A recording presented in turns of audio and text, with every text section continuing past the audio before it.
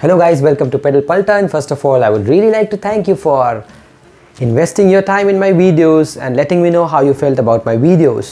तो गाइज़ आज मैं आपके लिए क्या लेके आया हूँ जैसा कि आप देख पा रहे हैं आज आपके लिए मैं लेके आया हूँ बड़ी इंटरेस्टिंग सी वीडियो जिसको सभी इग्नोर करते हैं और वो ये कि साइकिलिंग की शॉर्ट को सही तरीके से कैसे पहने? What is the right way to wear a cycling short है ना? ये बड़ा मुश्किल है दोस्तों कि ये ऐसा कुछ कहने वाला हूँ जो आज तक आपने एक्सपीरियंस नहीं किया है। बचपन से आपको सिखाया जाता है कि हमेशा इनर पैंट्स पहने और मैं कहूँगा कि इनर पैंट्स ना पहने। तो ये बहुत ही मुश्किल होने वाला है आप लोगों के लिए। बड़ी अजीब सी फील होगी आपको। लेकिन यही करना है और कैसे करना है वही मैं बता रहा हूँ। ठीक है? आप जो देख रहे हैं टिपिकल साइकिलिंग शॉट है। तो इसमें क्या होता है? देखिए, ये जो पैडिंग ये जब पैडिंग पे ना ख़ास ध्यान दीजिएगा, है ना?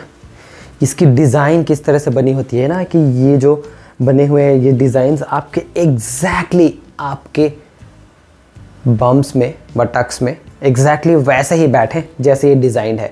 ये आपके प्राइवेट पार्ट्स को, आपके सेंसिटिव पार्ट्स को प्रोटेक्ट करने के लिए बनी हुई होती है।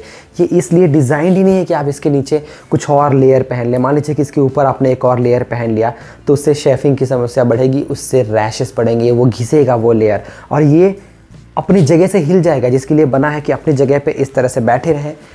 वो अपनी जगह से हिल जाएगा, या अपना पर्पस सॉल्व नहीं कर पाएगा, बल्कि आपको बहुत ज़्यादा तकलीफ़ बढ़ेगी, आपको सैडल सोर की समस्या होगी, आपके रैशेस पड़ेंगे, फ्रिक्शन एक क्रिएट करेगा। एक लेयर आप क्रिएट कर रहे हैं मतलब आप क्या कर रहे हैं?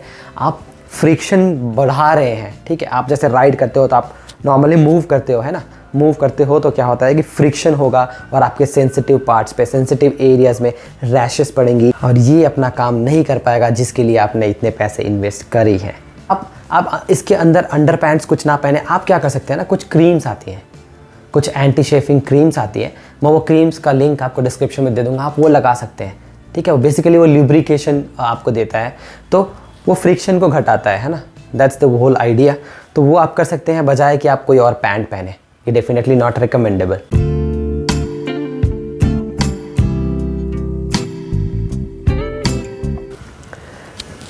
तो आप बिल्कुल इस पर भरोसा रखें इसकी जगह कुछ ना पहने, बहुत मेहनत लगती है इसको बनाने में, बहुत रिसर्च करी गई है इसको बनाने में तो ट्रस्ट कर सकते हैं आप ब्लाइंडली ट्रस्ट कर सकते हैं और आपकी राइड को बड़ा आरामदायक बना देगा। ये सैडल सोर की समस्या को बहुत हद तक कम कर देगा और आपकी कंफर्ट को एक नया आयाम देगा।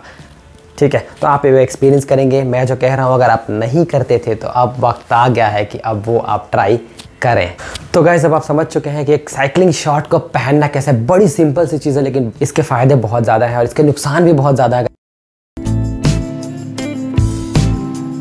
इसको अगर आप फॉलो नहीं करते हो तो आप फॉलो ज़रूर करेंगे और आपको पता है कि ये किस तरह से डिज़ाइन होती है, इसके डिज़ाइन का पूरा का पूरा पूरा फ़ायदा कैसे उठाएँ अंडर पैंट्स ना पहन के। तो होपफुली इस वीडियो ने आपकी बड़ी मदद करी है, आपको ये पसंद आई है और अगर वीडियो पसंद आई है तो लाइक कर दीजिएगा इस वीडियो को। शेयर करिएगा ज़्यादा से ज़्यादा लोगों तक और सब्सक्राइब कर दीजिएगा मेरे चैनल को। तो thank you so much for watching this video मिलते हैं अगले वीडियो में। तब तक के लिए keep reading miles with smiles जय हिंद।